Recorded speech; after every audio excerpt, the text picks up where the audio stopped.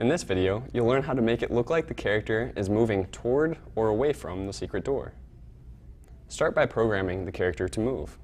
Drag out a Move 10 Steps block. People don't walk without moving their feet. Several scratch sprites come with different costumes that make it look like they're walking the way people do. To check if the sprite you chose is one of them, click on the Costumes tab. This example uses the Scratch Cat, who can switch between these two costumes to look like he's walking. If you did not choose a walking sprite for your story, and you would like one, click on the Choose New Sprite from Library, then the Walking menu. To copy your code from one sprite to another, just drag the code into your backpack, click on the new sprite, and drag the code from the backpack to that new sprite. Now, you can get rid of the old sprite and use a walking sprite instead. To make use of the walking costumes, you need to switch between them. To do that, go back to the Scripts tab. Click on the Looks menu and find the next costume block. Click on it to switch costumes. To keep switching costumes without clicking the block over and over, place it inside a repeat loop.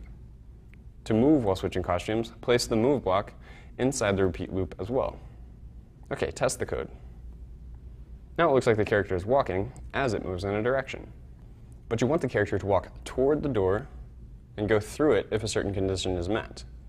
To make that happen, place the code below if answer equals yes, and above switch backdrop 2. Okay, test the code. If you answer, should I go through the secret door with yes, the sprite should walk toward the door.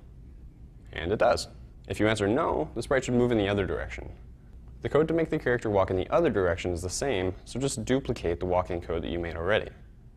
Before the character walks, though, it needs to change direction. This is where the point in direction block comes in handy. Point in direction 90 faces the sprite right, which is the way it's already facing. You want the sprite to walk left, away from the door. Place the point in direction block above the copied walking code.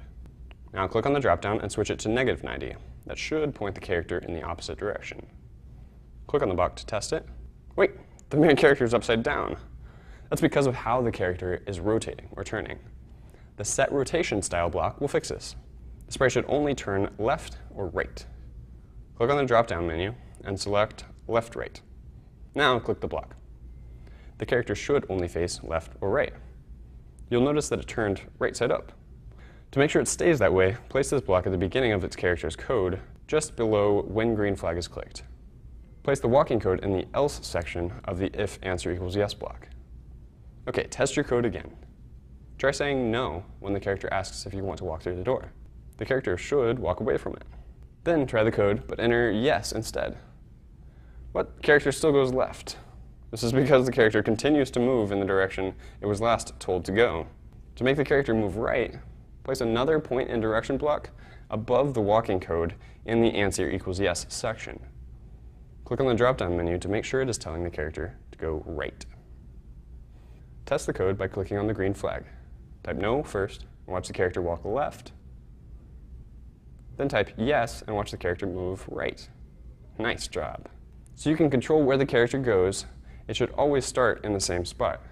Pick a spot where you want the character to start and drag your sprite there.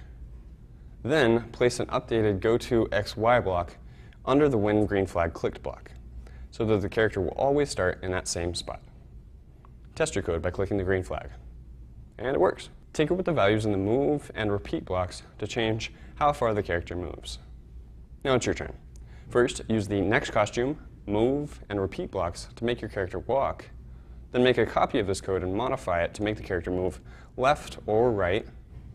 Then place the point in direction block above the code to make the character walk in the right direction.